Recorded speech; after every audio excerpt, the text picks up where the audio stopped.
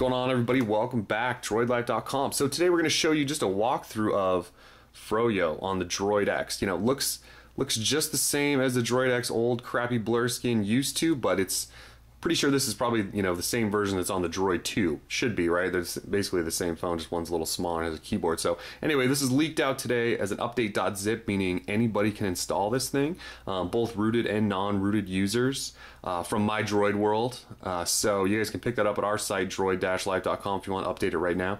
Um, but as you can see, yeah, same crappy blur skin. I still got that weird launcher thing going on down there. You know, all your same widgets are still on there. Um, we'll dive into this more later, but we really just wanted to give you a quick overview and just kind of show you what it looks like. Um, about phone, show you this. Everyone always cares about the about screen. Droid X 2.2, new baseband, kernel, all that good stuff. Oh, let me show you the lock screen too. Lock screen will look familiar. It's that same lock screen we saw on the Droid 2 that we showed you with that hands-on video. Um, looks like the clock up here has also been centered. It used to be off to the left a little bit. So um, yeah, lock screen is definitely new and changed. Um, there's not a whole lot of new stuff. I mean, we've seen Froyo on the Droid, we've seen it on, you know, a lot of uh, other devices, so you guys kind of know what Froyo is like. Uh, let me show you application menu. There's a goody, goody tucked in here I wasn't I wasn't ready for when I initially looked at this. Um, you can see we got the uh, tabbed menu for SD card storage of apps, and you'll see that first one right there, Adobe Flash Player 10.1.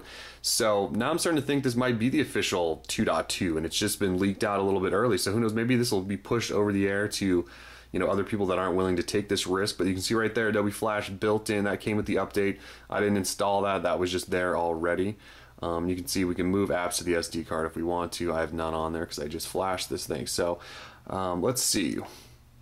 What other goodies do we have on here? Um, the uh, battery manager now has the uh, battery meter up there. Um, you know, basically like your Gmail is going to have, you know, the tab so you can switch accounts really quickly. Um, you're going to have, actually, let's see here. I doubt the gallery or any of that stuff changed. It's all going to be the same. So we can pull that up.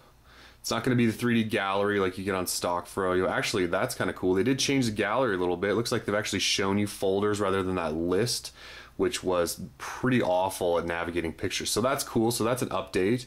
Gotta like that. New, uh, yeah, new gallery going on there. That's cool. Um, like I said, we'll dive into this more, hopefully later. Um, you can see all the bloatware still loaded on there, unfortunately.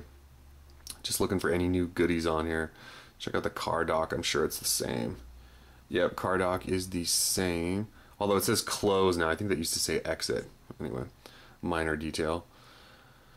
Uh, let's check out the camera. Let's see if the software on that's updated at all. I believe it should update. Yep, and it did. It did change a little bit. It's now the Droid 2. It's got that little flip switch there. You see that?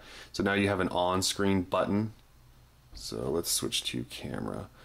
So now you have an on-screen button that you can take pictures with rather than just the red button up there. So that's huge because that red button was such a pain. So nice work Motorola and whoever updated this thing. That's a nice camera button there. Let's just tap that, to take a picture. Hopefully that adds to the uh, quality of everything. But yeah, so gallery and camera both updated. Gotta love seeing that. Let's see what else we got going on in here. Sorry, we're doing this all at once. I just got this on here wanted to get you guys a video so you can see if it's worth it or not. So far, it looks to be worth it. This looks about as legit as it's to get. Um, my accounts, navigation, probably all the same. Need for speed shift, yeah, no thanks. Bloatware, people, a lot of it on here. Uh, not a lot of other differences just offhand. Like I said, you will have all of the, uh, oh, VZ Navigator. We knew that was coming loaded on there. Don't use that, just use your Google navigation. So anyway, that's pretty much uh, just a quick walkthrough. I just wanted to give you guys a look. Actually, I know you guys are probably dying to see uh, benchmarks on here. I did download the benchmark apps. Can't forget that. Um, first round was not so hot. Let's just see what we get doing it now that the phone's warmed up a little bit here. Linpack score. Remember the Nexus 1 when it got 2.2, its M-flops were like in the 40s. Only getting 14. I don't know if it's uh, Texas Instruments processors or what versus Qualcomm. You know, Snapdragon's on all the HTC devices and they get crazy M-flops on 2.2. And anything with the Texas Instruments processor like the Droid 1, all that stuff, you get just no M-flops whatsoever. Look, there we got 6.3. So maybe this test is just not really built for the uh, Droid X or any Texas Instruments processor whatsoever. 14. That's about as high as I can get. So that doesn't necessarily mean this phone's slow by any means. Okay, this phone is really, really fast. And I'm sure you want to see quadrant as well. First time I ran this, look at that. Quadrant was awful. So let's hope we can improve that now. Now that we're uh, fully up and running here. We're just going to let that load set it down. So yeah, you can grab this on our blog, droid-life.com. Simple, update.zip. All you got to do is download the file, drop it on your SD card, meaning do not put it in any folder or anything like that. Just set the file straight on your SD card. Don't rename it or anything. It's already update.zip. Just drop it on there. Turn your phone off and uh, boot into recovery by holding home and power at the same time. Once the Motorola logo pops up, you can release the power button. Continue to hold home though until you get that exclamation mark with the triangle. Once you get that, you can release the home button. And after that, all you need to do is uh, press the search button and you will get a menu. And use the rocker switch, volume switch down till you get to apply up SD card update.zip.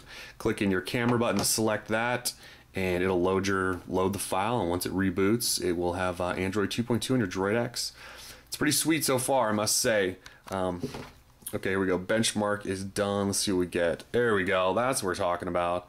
There is a beastie benchmark. Once the phone warms up a little bit, it really gets rolling and it shows the uh, power of it. So anyway, uh, yeah, we'll go into Flash maybe in another video because this video has already been pretty long. So anyway, droid-life.com, get the Android 2.2 update courtesy of My Droid World, and uh, we're out. Peace.